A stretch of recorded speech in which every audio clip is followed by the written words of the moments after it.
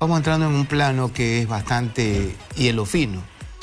Emelec siempre fue el campeón del vicecampeonato, porque no quedaba campeón al comienzo, pero el equipo aseguraba la primera vuelta Libertadores, lo cual significa ya un dinero para solventar el presupuesto del año. Lo otro, se vendieron de 32 o más millones de dólares por jugadores, por año sin un jugador. Y con esa venta se cubría parte del presupuesto. No vivía de los derechos de televisión. Este Melec vive de los derechos de televisión. Cuando eh, hizo la presentación el presidente que se fue, el ingeniero Piley, yo trato con respeto siempre, eh, llegó hasta un exjugador, gran amigo mío, yo lo quiero más que a mi viejo, y, le obligó a decir que el MLE es el equipo que más había contratado, más de seis jugadores había contratado el MLE, más de seis jugadores. Pero se olvidaron de decir, los capítulos que se olvidaron a Cervantes también, en que Melec dejó ir gratis a Sebastián Rodríguez, dejó ir gratis a Dixon, por allí entre los dos. Y esto de fuente bien informada, me dijeron que dos millones se escaparon con Sebastián, porque ese jugador fácilmente era negociable, por no pagarle 50, 30, bueno, por no pagarle un vuelto, el jugador quedó liberado. Cosa que es, eso, una luz, no quiero utilizar un término durísimo, pero eso es un pecado mortal en un club. Dixon igual, no, me, no le pagaban, bueno, ándate, te doy el pase libre cuando pudieron haberle sacado buen dinero. Estoy hablando de dos, puedo hacer la lista interminable. En época de Nacic vendieron hasta Ángel Mena, que ya estaba con 31 años de edad, y entró al Club Dinero. Lo vendieron a Marlon de Jesús, 3 millones 800. Lo vendieron a un central, Morante, 2 millones, que nunca jugó, pero lo vendieron significa que Melec, aparte de tener un buen presidente administrador de los bienes que él mismo tenga que producir, tiene que ser un buen administrador y tiene que ser un buen negociante.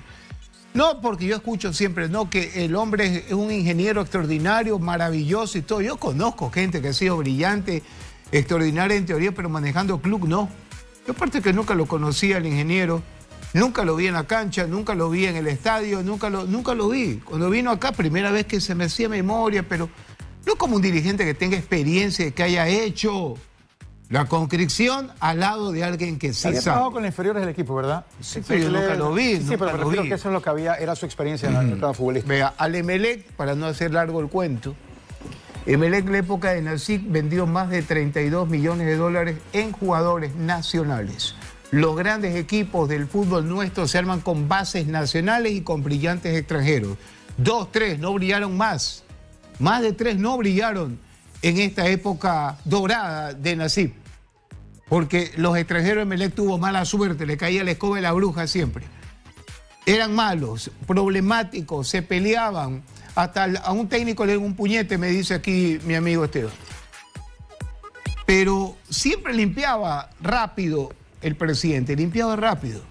Pues los jugadores con que negociaron fueron nacionales. Tanto es así que Miller vino por 300 y al Emelec le dejó, vea, o 3 millones o 4 millones. Le dejó, no voy a hablar de cifras exactas porque hay que pagar impuestos, los derechos del promotor, los derechos del representante, lo que se ve el jugador, que es el 15%, todo, todo, no puedo hablar de cifras cerradas. Pero aproximadamente el equipo quedó en azul con promesa de pago al banco y ya quedó destinado un presupuesto de entrada por publicidad para pagar al banco que, con el cual se hizo la otra parte del estadio Capwell, que quedó hermoso. Pero se olvidaron porque cogieron esa plata que era destinado para el banco porque quedó presupuestado aquello y se lo gastaron en otra cosa.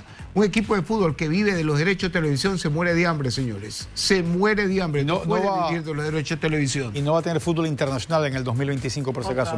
¿Qué significa eso? No tiene, ¿No tiene más ingresos o más vergüenzas? No, yo le cuento. las dos, ¿ah? Cada vez que Nasib estaba en MLE clasificaba a la Libertadores, no. Y eso es un, una millonada adicional. Señor, por supuesto. Aunque no sea campeón son millones adicionales y el hinchada protestaba, dice, ¿cómo es posible que nosotros no seamos campeones? Todo, todo el mundo lloraba, pero ahora... Antes se pedía ser campeón, ahora ni siquiera se clasifica, ¿no? Ahora se pide que les paguen a los jugadores. Ahora, Gisela... Porque hay huelguistas.